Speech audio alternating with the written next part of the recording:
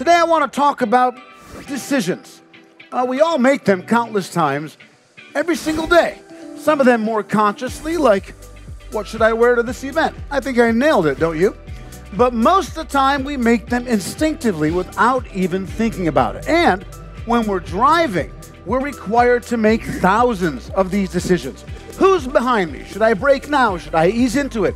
Do I swerve this way? Do I swerve that way? And we mess up because we're all victim to that one horrible thing called human error because we're human. But autonomous vehicles aren't human, and therefore they don't make mistakes like one. Sometimes we're too tired, or we drink too much, or we're distracted. We're ordering pizza or tacos. I, I want tacos. We expect much more from our autonomous vehicle than we do from ourselves. So, how do we strive to get to this level of safety? Well, it has to do with something called redundancy, which is the idea of using independent systems to solve the same problem to increase reliability. And at Mobileye, we have made redundancy a cornerstone of our safety architecture across hardware, software, and AI processes.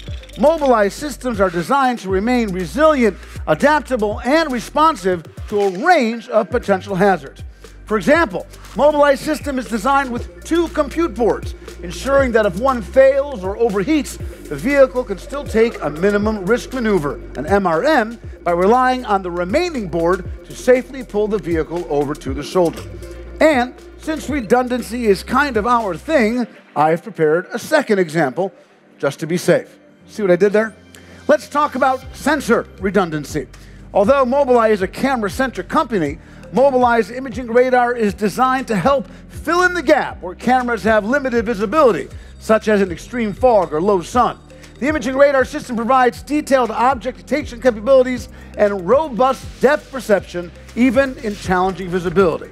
We also have more than one way to make an AV map and many internal redundancies in our algorithms. But this focus on redundancy isn't just about adding more systems to perform the same functions in case one fails. A critical element of redundancy is the integration of fusion strategies, finding the best way to combine outputs from multiple systems effectively. Now, a common approach when using three subsystems is to use what's called a majority vote. If two out of the three subsystems say to brake, then we brake, which sounds simple. But what about if the decision isn't a binary one?